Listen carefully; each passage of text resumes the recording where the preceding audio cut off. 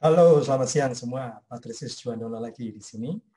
Selamat tersesat di channel saya, tapi saya berjanji saya akan menyesatkan Anda ke jalan yang benar. Pada kesempatan kali ini saya akan menyesatkan Anda ke scaffolding. Nah, apa itu scaffolding? Nah, scaffolding adalah eh, pada intinya adalah bantuan yang diberikan oleh seorang guru atau seorang dosen ketika seorang mahasiswa atau seorang muridnya mengerjakan tugas.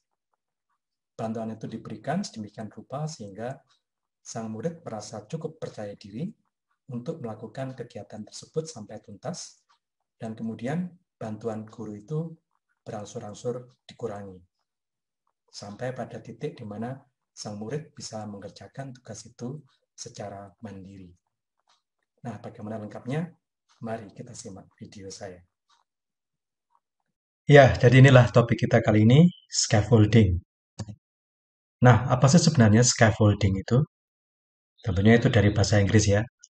Tapi asal tahu saja Anda bahwa scaffolding itu diambil atau diadaptasi dari uh, terminologi bangunan, konstruksi. Ya, jadi scaffolding itu kalau kita melihat ada bangunan yang sedang uh, didirikan atau sedang dibangun, ada sebuah gedung yang sedang dibangun, itu kita biasanya melihat rangka-rangka e, besi atau kayu yang menopang bagian-bagian yang sedang dibangun itu. Ya, tentunya supaya tidak jatuh, supaya e, pekerjanya bisa dengan leluasa mengerjakan bagian-bagian tersebut. Nah, itulah namanya scaffolding. Kemudian ini diadopsi ke dalam dunia pembelajaran yang artinya adalah seperti ini.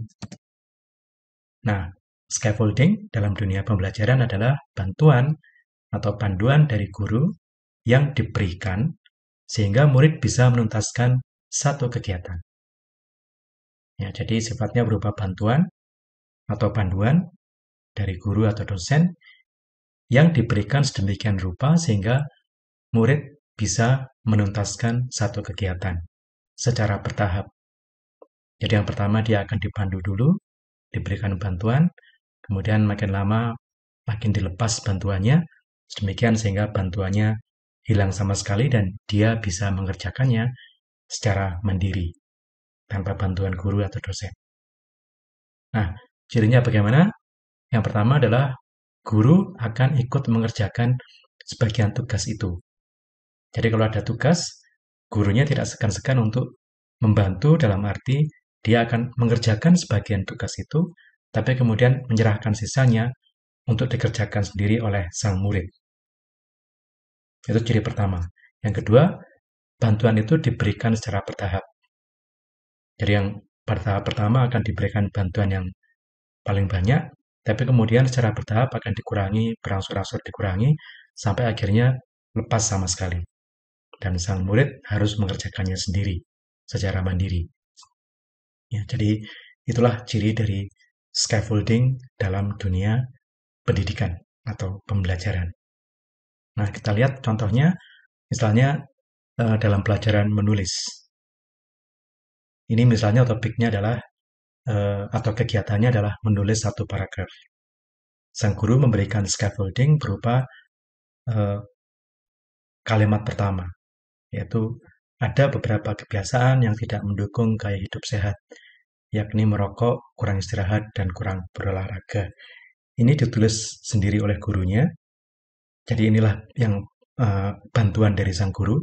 Inilah scaffoldingnya. Kemudian bagian selanjutnya akan harus dikerjakan oleh sang murid.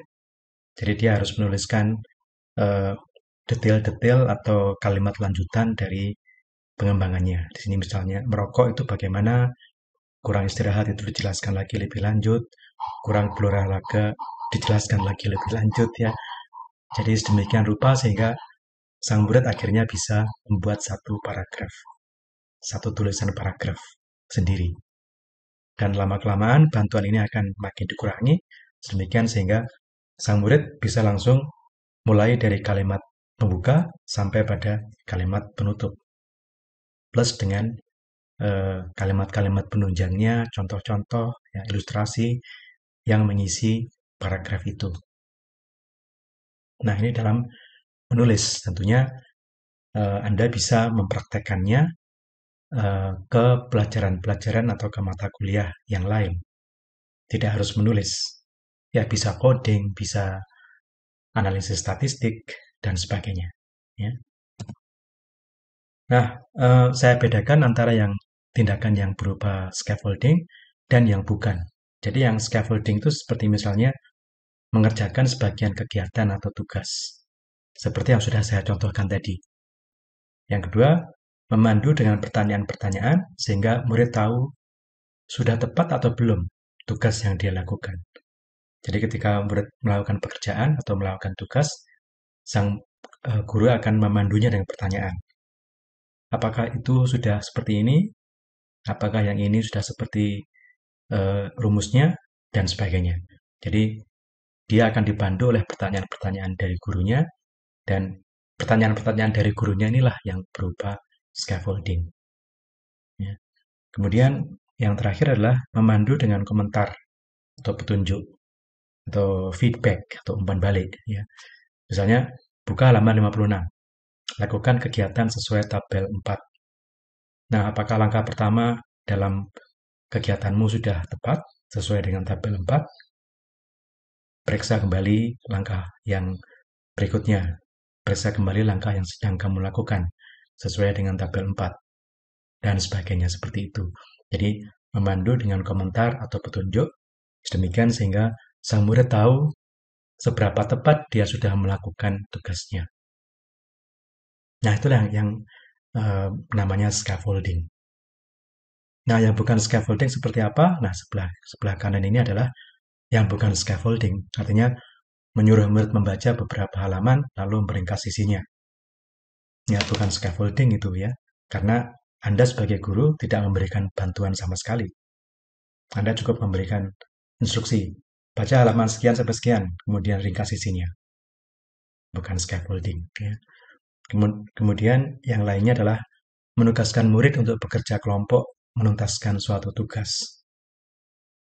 Nah, sekarang kelompok Anda coba kerjakan ini, ini, ini, ini. Nah, itu bukan scaffolding juga, karena hanya memberikan instruksi saja. Ya. Kemudian, eh, yang terakhir adalah menguji murid dengan sebuah tes. Ini pun juga bukan scaffolding. Ya, jadi saya harap dari uh, halaman ini jelas membedakan mana yang scaffolding dan mana yang bukan scaffolding. Pada intinya scaffolding itu senantiasa melibatkan guru ke dalam tugas itu, mengerjakan sebagian tugas itu uh, sehingga murid merasa percaya diri untuk bisa melakukan tugas itu dengan baik. Kemudian tugas atau bantuannya perlahan-lahan berangsur-angsur dilepas, sedemikian sehingga murid bisa mengerjakannya secara mandiri. Selamat mengajar, sampai jumpa di episode saya berikutnya.